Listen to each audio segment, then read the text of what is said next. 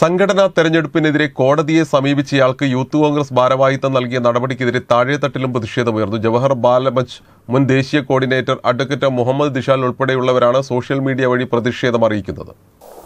Youth Congress സംഘടനാ തെരഞ്ഞെടുപ്പിനെതിരെ കോടതിയെ സമീപിച്ചയാളെ ഭാരവാഹിയാക്കിയ youth Congress ദേശീയ നേതൃത്വത്തിനെതിരെയാണ് താഴെത്തട്ടിലും പ്രതിഷേധമുയരുന്നത്. ജവഹർ ബാലമഞ്ച് മുൻ ദേശീയ കോർഡിനേറ്ററും കെ മുൻ ജില്ലാ സെക്രട്ടറിയുമായ മുഹമ്മദ് ദിഷാലാണ് സോഷ്യൽ മീഡിയ വഴി ശക്തമായ പ്രതിഷേധം രേഖപ്പെടുത്തിയത്. നിലപാട് വ്യക്തമാക്കിയതിന്റെ പേരിൽ എന്ത് നടപടി സ്വീകരിച്ചാലും അത് സ്വീകരിക്കാൻ തയ്യാറാണെന്നും പോസ്റ്റിൽ വ്യക്തമാക്കുന്നു. നിലവിൽ യൂത്ത് കോൺഗ്രസ് തിരുവമ്പാട് നിയോജകമണ്ഡലം പ്രസിഡന്റ് സ്ഥാനത്തേക്ക് നാമനിർദ്ദേശ പത്രിക സമർപ്പിച്ച ആളുകൂടിയാണ് നിഷാൽ യൂത്ത് കോൺഗ്രസ് ദേശീയ നേതൃത്വത്തോടാണ് എന്ന് തുടങ്ങുന്ന പോസ്റ്റിൽ നിങ്ങൾ ആരെയാണ് വിഡ്ഢികളാക്കുന്നതെന്നും പാർട്ടിക്ക് വേണ്ടി പോസ്റ്റർ ഒട്ടിക്കുകയും മുദ്രാവാക്യം വിളിക്കുകയും ചെയ്യുന്നവരും നിരവധി കേസുകൾ പ്രതിയായി കോടതി കയറിയിറങ്ങുന്ന ജയിൽവാസം അനുഭവിച്ച കേരളത്തിലെ യൂത്ത് കോൺഗ്രസ് പ്രവർത്തകരെയാണോന്നും ദിഷാൽ ചോദിക്കുന്നു.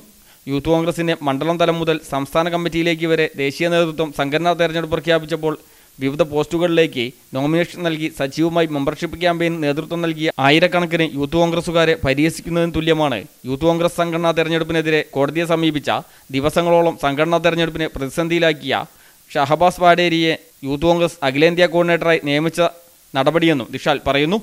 താഴെത്തട്ടിലെ പാർട്ടി പ്രവർത്തകരുടെ വികാരം മനസ്സിലാക്കാതെ ഡൽഹിയിലെ എ സി മുറിയിൽ ഇരുന്നെടുക്കുന്ന ഇത്തരം തീരുമാനങ്ങൾ സംഘടനയ്ക്കുണ്ടാക്കുന്ന ക്ഷീണം മനസ്സിലാക്കാനുള്ള വിവേകമെങ്കിലും നേതൃത്വത്തിന് ഉണ്ടാവണമെന്ന മുന്നറിയിപ്പും പോസ്റ്റിൽ നൽകുന്നുണ്ട്. നിരവധി തവണ സംഘടനയുടെ നേതാക്കളുടെ മുന്നിൽ നിരവധി ആളുകൾ ഈ വിഷയത്തിൽ ഇടപെടൽ ആവശ്യപ്പെട്ടിട്ടും നടപടികൾ ഉണ്ടാവാത്തത് കൊണ്ടാണ് പരസ്യമായി വിമർശിക്കേണ്ടി വരുന്നതെന്നും നിലപാട് പറയുന്നതിന്റെ പേരിൽ എന്ത് നഷ്ടമുണ്ടായാലും സഹിക്കാൻ തയ്യാറാണെന്നും പറഞ്ഞാണ് പോസ്റ്റ് അവസാനിക്കുന്നത്. പോസ്റ്റിന് ലൈക്കുകളും അനുകൂല കമന്റുകളുമായി നിരവധി പ്രവർത്തകരും പിന്തുണ അറിയിക്കുന്നുണ്ട്.